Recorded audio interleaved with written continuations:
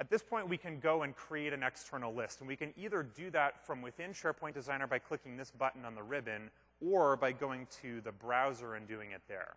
And we expect more people to do it from the browser, so I'll walk you through what that process looks like. So from the homepage of our site, all we have to do is click on Site Actions and go to our screen for creating lists and document libraries. So here we're going to see all the different list and document library types. And if we scroll down, external list shows up right here. So if we click on create, we're going to give our list a name, and we're going to select the external content type that we want to connect that list to. And so we're going to see all of the existing ECTs plus uh, the new one that we just created. So the new one's customer SPC.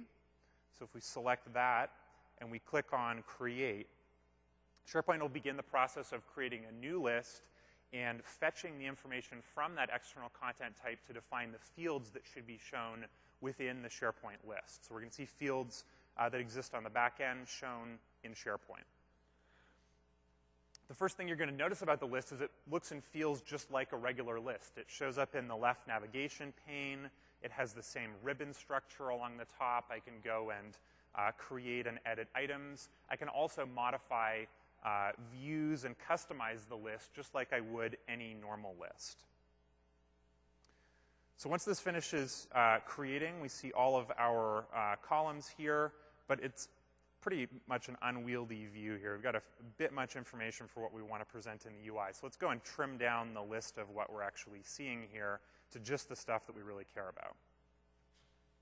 So if we go and modify the view, let's go and trim out a bit of information, um, deselect a few of these columns. Another thing we can do is actually change the ordering of the columns as we would uh, with any other regular list. So we'll get rid of a few of the fields. We'll click on OK to save the view. We could also define sorting and filtering if we wanted to uh, in the view. We can also sort and filter at runtime just by selecting any of the column headers. So let's go and sort by last name to get a little bit of a cleaner view of our data.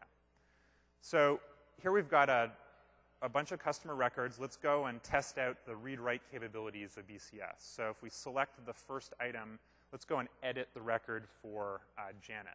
And this is going to load uh, what we call an auto-generated SharePoint Foundation form. So a pretty simple form. It just lays out the labels for each of the fields and the controls here, exactly the same form that you're going to get for a regular list. So Janet's been attending the conference here in Vegas, and being Vegas, she took the opportunity to go ahead and get married, a bit of a shotgun wedding. So we'll go and update her last name to uh, reflect that. And when we save the change here, this is going to go all the way through to the backend system. We're going to update SQL, and we're going to go and refresh the UI. And so when that comes back, we see Janet's last name used to be just Alvarez. We see the updated value here. And if we switch over to our backend, we're looking at a view of the customer table here. We see the, la the old last name, Alvarez. We click on F5, and we see the updated values.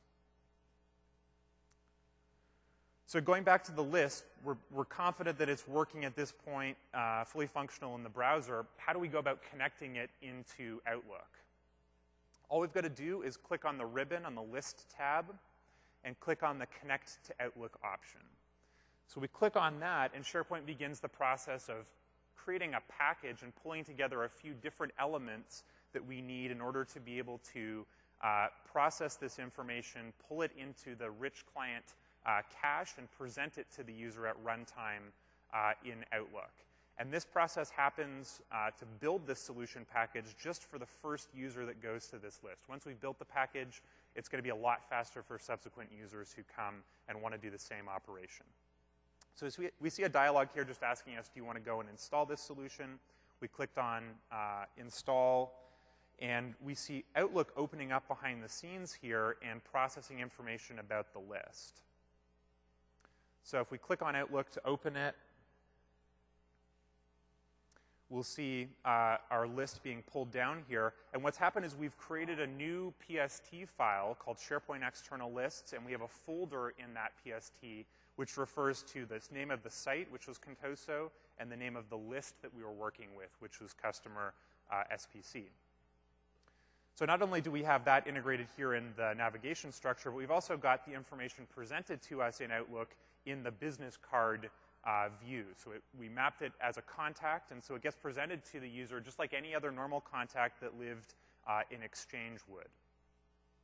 So if we go and open up Janet's record, this was the customer we're working with in the browser, um, we can see the fields that we mapped from SharePoint Designer show up in the native Outlook fields here. So we mapped first name and last name. We mapped the company that she works for, her occupation, email address, and her business address. And there were a few fields that we didn't get around to mapping, and those show up here under a separate tab. And so we get a simple form that surfaces all of that information for us, and this is all read-write as well. If we wanted to go update a value, uh, like the number of cars Janet owns or the date that she first made a purchase from our company, we can go and do that here. And so this is useful for fields that are not mapped um, because they, there isn't a corresponding uh, Outlook uh, field that they would relate to. So if we go back to the main uh, view of the contact here, we're going to go and update Janet's job title. She just recently was promoted from a manager to a VP. So let's go and save that, and we see the change reflected here uh, on the business card view. And if we go to our back end, we see the old job title here, uh, which was manager. If we refresh the view, we see the updated value in the back end itself.